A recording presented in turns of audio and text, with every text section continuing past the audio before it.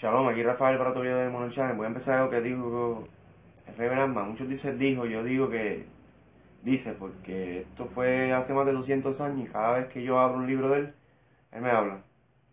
Y yo le, digo que abra un libro de Reverend y va a ver cómo él le habla, como él le va a hablar. Dice, no confundas un corazón quebrantado con la tristeza y la depresión. La depresión es en realidad la cólera una queja contra Dios por, no haberte dado lo que tú quieres.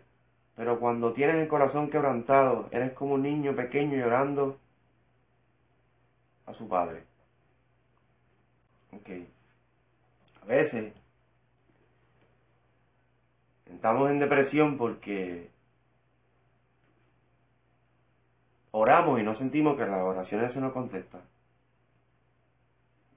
Como dijo Rabbi cólera porque Hashem no nos ha dado lo que queremos en el momento cuando él cuando nosotros queremos que él nos dé. Pero Hashem sabe el momento correcto que nos tiene que dar. Como ya he dicho yo en, otra, en otros videos, que hay que hacer cierto tipo de rezos para,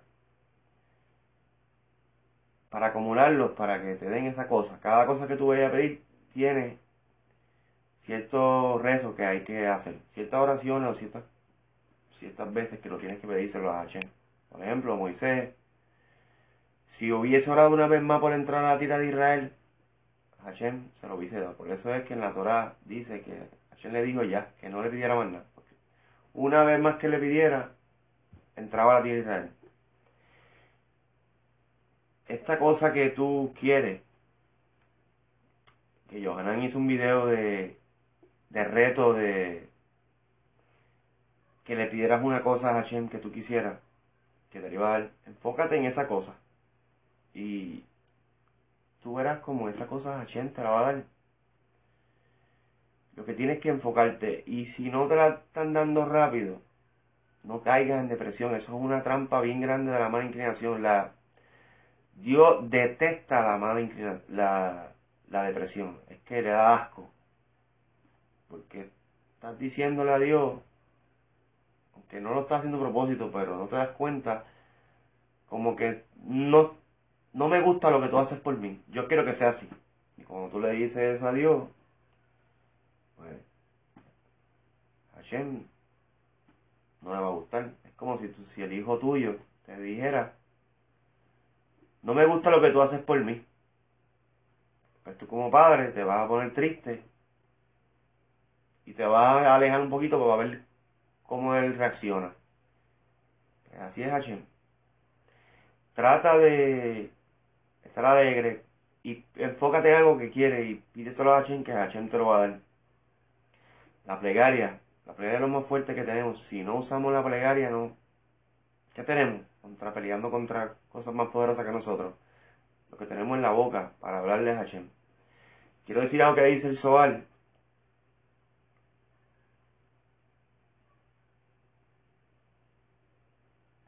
El creador mueve mundos enteros para que dos personas puedan encontrarse.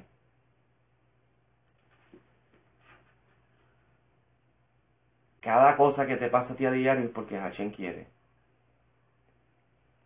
Cada cosa que te pasa a ti, que tú entras en depresión, que entras en tristeza, Hashem te la tiene para ti desde hace más de 3.000 años. Eso te tocaba a ti hacer en ese momento. So, verlo como que tú eres un hijo del Dios, creador del universo. No entres en depresión cuando las cosas no te salen como tú quieres. Hashem tiene un plan maestro para ti. Lo que tienes que hablar con él, hacer de y Hashem te lo va a llevar. Hashem te va a llevar. Confía en Hashem. Confía en Hashem. Es lo único que tenemos, la confianza. Vitajón. So, está feliz. Asaku Baruch.